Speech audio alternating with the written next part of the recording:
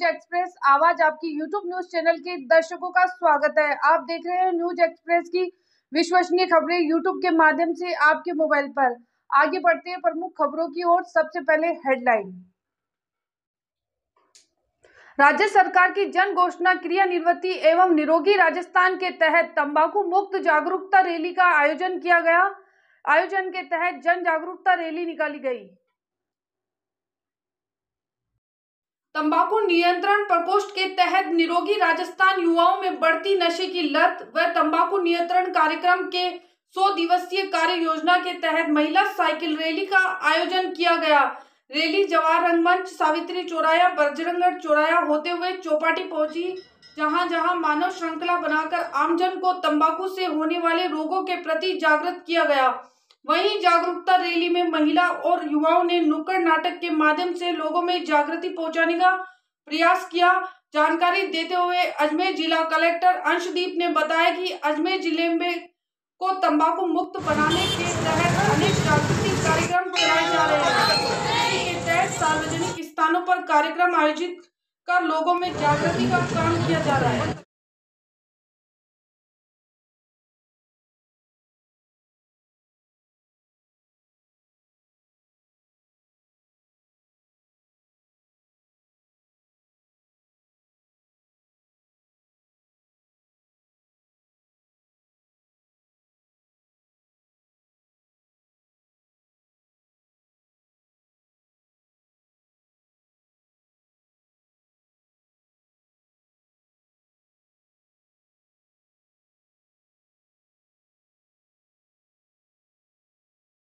मुख्य चिकित्सा एवं स्वास्थ्य विभाग की तरफ़ से और जिला राष्ट्रीय तंबाकू नियंत्रण के द्वारा एक छोटा सा नुक्कड़ नाटक आप लोगों के बीच तंबाकू जीवन का नाश।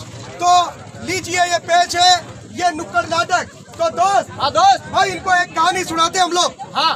कहानी ऐसी है कि दुखी राम और सुखी राम की। अच्छा। भाई दुखी राम दुखी क्यों है और सुखी राम सुखी क्यों है? हाँ तो सुना दे। तो भाई सुना तो दे लेकिन यार मेरी बात सुन। हाँ। ऐसे कहानी सुनाएगा या कुछ दिखाएगा भी? अरे कुछ दिखाएँगे भी। दिखाएगा? हाँ। तो चल चलते हैं पर तुकीराम के घर। चलो। लेकिन कैसे जाएगा? अरे गाते बजाते। गाते बजाते जाएगा। हाँ। तो चल गाते बजाते चलते ऐसा कर करके क्या हालत हो रखी है? इनके गाल पे देखो क्या हो रखा है। अरे तू तेरा काम कर तू डॉक्टर बनने की कोशिश मत कर तू तेरा काम कर चल जा। जा। समझा रही हूँ तुम्हारे को? चल निकल। समझा रही हूँ। राजा राजा अरे मेरी बात सुन यार। हाँ। एक बात बताऊँ। हाँ। ये सुखी राम है ना? हाँ। मेरे घर में कोई टोने टोट के कर रहा है। हाँ। कुछ ना कुछ इलाज करना पड़ेगा। तो चले। तो चल सुखी का घर चलते और उसका सिर फोड़ के आते चलो चल आ आजा तू आवाज़ दे जल्दी आवाज़ दे सुखिया आज देखिए, हमारा जो अजमेर ज़िले को तंबाकू मुक्त बनाने के लिए अनेक कार्यक्रम चलाए जाते हैं। आज भी उसी क्रम के अंदर हमारे यहाँ पे एक रैली भी निकाली जा रही है, एक रथ भी चलेगा।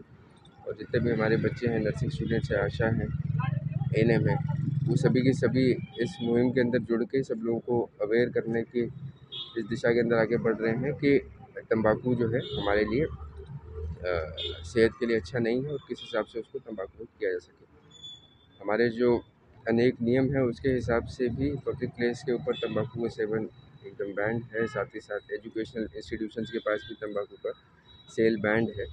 तो एक अवेयरनेस का काम भी है और साथ ही साथ इन्फोर्समेंट का काम भी है। जिससे हमें मानते हैं कि तंबाकू का जो यूज़ है, वो धीरे धीरे करके और कम देखिए, अभी राज्य सरकार की बहुत बड़ी योजना है, तम्बाकू मुक्त राजस्थान। उसके तहत अजमेर ज़िले को भी तम्बाकू मुक्त करने के लिए कई प्रोग्राम्स किए जा रहे हैं, ब्लॉक स्तर पर ग्रामीण स्तर पर शहरी स्तर पर तो आज हमने इसी कड़ी के अंदर अजमेर शहर के अंदर एक रैली का आयोजन किया है, जिसमें हमारे एन हैं, हमारे स्टूडेंट्स हैं, हमारी एन हैं, हमारे चिकित्सा अधिकारी है और हमारा स्टाफ है।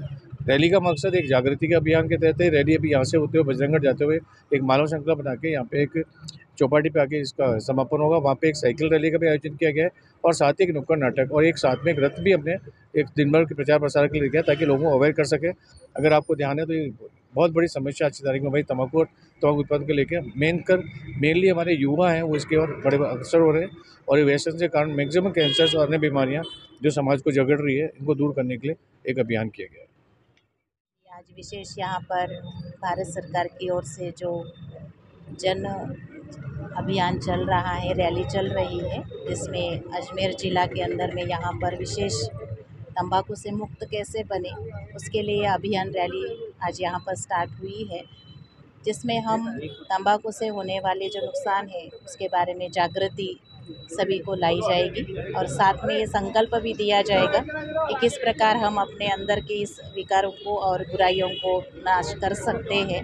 उसके लिए ब्रह्मा कुमारी सदैव इस अभियान के साथ सहयोगी बन कर के रहेगा और हम सभी सहयोग के द्वारा व्यसनों से मुक्त होने के लिए युवाओं को भी जागृत करेंगे और साथ में सभी देशवासियों को भी जागृत करेंगे। इस अभियान के लिए हम सभी की बहुत बहुत शुभकामनाएँ हैं। जीते जी रक्तदान, मरणोपरांत देहदान की प्रेरणा के चलते डॉक्टर भीमराव अंबेडकर की 131वीं जयंती की से एक दिन पूर्व रक्तदान किया गया। भारत रत्न और संविधान निर्माता डॉक्टर भीमराव अंबेडकर की 131वीं जयंती के उपलक्ष्य में राजस्थान नर्सेज एसोसिएशन और अंबेडकर क्लब के संयुक्त तत्वाधान में जवाहरलाल नेहरू चिकित्सालय के जोनल ब्लड बैंक में समस्त नर्सिंग स्टाफ, जवाहरलाल नेहरू चिकित्सालयों के डॉक्टरों और कर्मचारियों के द्वारा रक्तदान शिविर का आयोजन किया गया।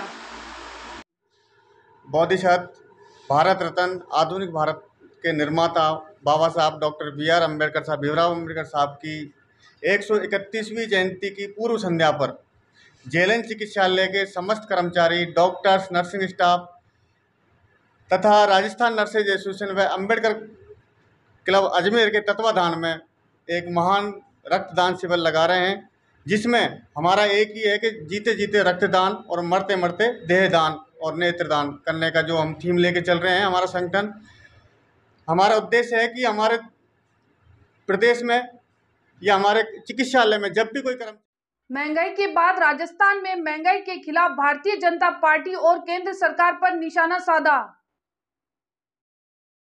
महँगाई के बाद अब प्रदेश में कांग्रेस कमेटी ने राजस्थान में पेयजल किल्लत के खिलाफ भाजपा और केंद्र सरकार पर निशाना साधा।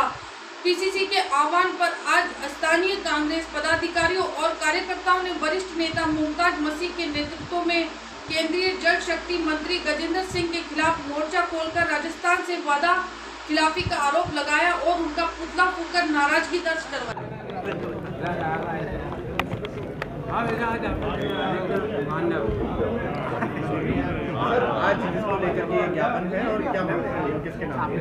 देखिए, एक मांग तो ये है कि जो हमारे पूर्वी क्षेत्र की परियोजना है पानी की, उसको हम चाहते हैं कि नेशनल घोषित किया जाए। दूसरी मांग ये है कि इन्होंने ये कहा, हमारे गजेंद्र सिंह जी, जो मंत्री हैं, केंद्रीय सरकार के। अतिक्रमण के खिलाफ अजमेर नगर निगम का अभियान लगातार जारी। बुधवार को कई जगह से अतिक्रमण हटाया। अवैध अतिक्रमण के खिलाफ अजमेर नगर निगम अभियान लगातार जारी। इसी क्रम में बुधवार को कचेरी रोड स्थित क्षेत्रपाल हॉस्पिटल के सामने निगम की अधिकृत पार्किंग पर लगे ठेलों को पूर्व सूचना के बाद भी पार्किंग को अतिक्रमण मुक्त नहीं किए जाने के चलते आज निगम की राजस्व अधिकारी द्वारा ठेलों को जब्त कर करने की कार्यवाही को अंजाम दिया गया। जानकारी देते हुए राजस्व अधिकारी ने बताया कि कई बार ठेलों चालकों को पार्किंग क्षेत्र से हटाने के लिए समय दिया गया था, लेकिन उनके द्वारा पार्किंग क्षेत्र को अतिक्रमण मुक्त नहीं किया गया। उसी के तहत आज कार्यवाही को अंजाम दिया गया। मैं भी खुद एक वार्ड पार्षद हूँ, मैंने भी अपने वार्ड में शिकायतें दे रखी लेकिन वहाँ पे कभी आज तक कार्यवाही नहीं हुई। लेकिन यहाँ पर ऐसा क्या है? जो पार्षद है उन्होंने शिकायतें दी मुझे कुछ भी नहीं पता मैंने हाड़ा सर से कल ही जाके बात करके आए उन्होंने पूरा मुझे आश्वासन दिया कि ऐसा कुछ भी नहीं होगा यदि ये रखी हुई है या ये कमा के खा रहे छोटे गरीब तबके के लोग हैं यदि गरीब कमा के खा रहे तो क्या दिक्कत आ रही है? यही इतनी क्या आवश्यक आ रही है जो यही कार्यवाही हो? शहर में इतने सारी जगह अतिक्रमण हो रहा है वहाँ क्यों नहीं जा रही है मैम? सबको पूरे यहाँ पे कार्ड जी मैं किस तरह की कार्रवाई की गई है और क्या ये क्षेत्रपाल हॉस्पिटल के सामने कचहरी रोड पर जो हमारी पार्किंग है, नगर निगम की अधिकृत पार्किंग है, जो कि ठेके पर दी गई है। तो अभी बार बार हमने यहाँ पर जब निरीक्षण करते हैं तो देखते हैं कि काफ़ी ठेले लगे हुए थे। तो उन ठेलों को काफ़ी दिन पहले से हमने उनको कह दिया था कि वो अपनी ठेले, केबिन आदि जो भी लगे हैं, वो अपने स्तर पर ही हटा लें। तो लगभग लगभग दो हफ़्ते का समय हो गया है उनको कहे हुए। तो यहाँ से काफ़ी शिकायतें आ रही थी कि ये नहीं हट रहे। थाना पुलिस ने पारिवारिक मामले में महिला की शिकायत पर उसके देवर एवं अन्य के खिलाफ मुकदमा दर्ज करवाया। के गणेश नगर इलाके में रहने वाली अपर्णा देवी की शिकायत पर थाना पुलिस ने उसके देवर अनुज पांडे सहित परिजनों के खिलाफ मामला दर्ज किया। कल दिनांक 12 चार 2022 को श्रीमान पुलिस अधीक्षक महोदय जिला अजमेर के कार्यालय से परिवादिया श्रीमती अर्पणा देवी निवासी गणेश नगर अजमेर का एक परिवार धारा एक सौ चौपन क्लोज तीन सीआरपीसी के तहत इस आशय का प्राप्त हुआ कि मैं गणेश नगर आदर्श नगर अजमेर में रहती हूँ। मेरा पत्नी कॉलेज में ट्रांसमिशन मेडिसिन विभाग का नव गठन किया गया। उसी के तहत एक दिवसीय कार्यशाला का आयोजन। मेडिकल कॉलेज अजमेर में मेडिकल कॉलेज के प्राचार्य डॉक्टर वी बहादुर सिंह द्वारा मेडिसिन विभाग का नव गठन किया गया। उसी के तहत बुधवार को ब्लड ट्रांसमिशन प्रैक्टिसेस इसके तहत एक दिवसीय कार्यशाला का आयोजन किया गया। कार्यशाला का शुभारंभ माँ सरस्वती की प्रतिमा के समक्ष दीप प्रज्वलन कर किया गया। आज मेडिकल कॉलेज अजमेर में आईएसटी विभाग, जो ट्रांसफ्यूजन मेडिसिन विभाग, जिसका भी नव गठन हुआ है पाँच छः महीने पहले वीर बहादुर सिंह जी जो हमारे प्रिंसिपल एंड कंट्रोलर उनके सहयोग से और उनके सक्रियता से एक नए विभाग का गठन हुआ है। और उसी में आईएसटी विभाग की तरफ़ से ही ट्रांसफ्यूजन प्रैक्टिसेस स्टेप फॉरवर्ड करके सी एम का आयोजन किया गया, जिसमें राजस्थान के लोक कलाकार खान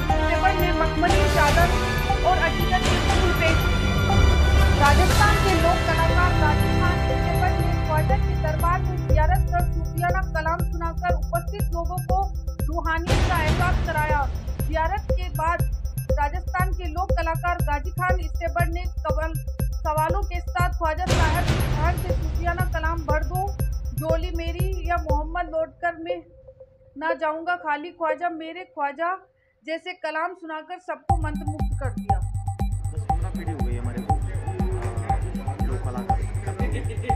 अभी किस तरीके से देख रहे हैं आप? क्योंकि अब तो ज़माना बदल गया लोग कलाकारों को बहुत कम लोग बुलाते हैं। जमाना बदल गया आपकी बात सही है। लेकिन हमको छोड़ना नहीं लोग कला। लेकिन थोड़ा ट्रेंड चेंज हो म्यूज़िक का तो साथ में फ्यूजन टाइप से भी करते हैं। किस तरीके से आपके परिवार में रियाज होता है? कितना समय लगता है? कितने लोग रहते हैं इसके लिए?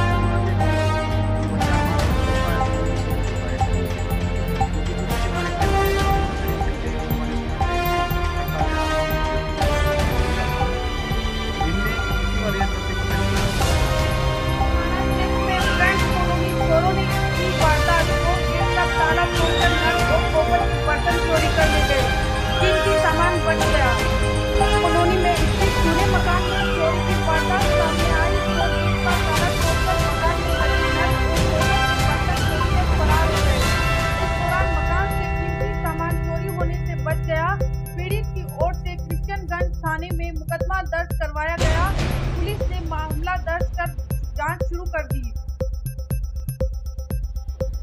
जी भैया कहाँ गए हुए थे? वो क्या मैं तो सुबह को, मैं और मेरी वाइफ सुबह साढ़े दस बजे ड्यूटी के लिए निकल गए थे। उसके बाद मैं दिन को करीबन दो बजे करीबन मैं आया। आके देखा तो मैंने ना बाइक खड़ी करी तो पूरा पानी ये था, अंदर आया। तो गेट का लॉक टूटा हुआ था और कांच वाच सारे टूटे हुए पड़े थे। उसके बाद में इधर से ना, नल वल सारे निकले हुए थे और परात वरात जो भी बड़ी थी, वो सारी है ना, ऊपर के बर्तन वर्तन सारे गायब है। अंदर घुस नहीं पाए लॉक खुला नहीं उनसे। गेट वेट सारा तोड़ दिया। उसके बाद में सडनली मैंने थाने में फ़ोन किया। पुलिस आई थी पुलिस इंक्वायरी करके लेके गई।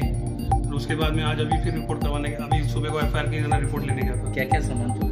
सामान ये है ना कॉपर के बर्तन वर्तन और ये सब गए हैं। अंदर से कुछ भी नहीं गया क्योंकि अंदर उनसे डोर खुला नहीं लॉक पूरा मज़बूत था इसलिए ना डोर तोड़ा है लेकिन खुला नहीं अंदर नहीं जा पाया लगभग कितने का नुकसान दस से पंद्रह हज़ार रुपये का नुकसान हुआ।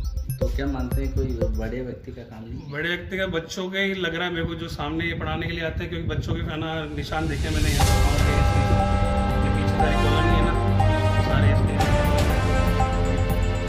बने रहने के लिए देखते रहिए आपके मोबाइल पर न्यूज़ एक्सप्रेस आवाज़ आपकी